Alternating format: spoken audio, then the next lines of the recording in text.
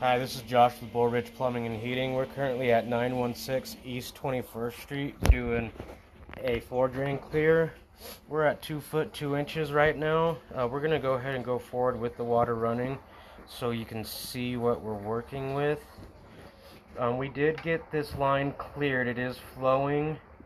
Um, only concern is it's probably flooding somewhere underneath the house or outside. Um, we can only get our camera about five foot before we can't go any further. If you look closely, it does look like this pipe is broken. We got some rock debris, roots growing out of the ground. So I'm almost certain this is all dirt.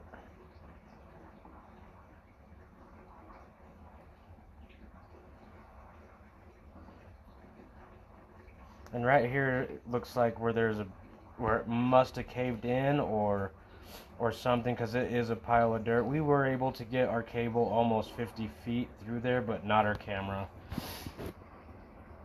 We'll go ahead and start pulling back and uh, recommend doing a locate at some point and find that where that is and possibly have it jackhammered up. So it's located in the basement, uh, mechanical room slash laundry room.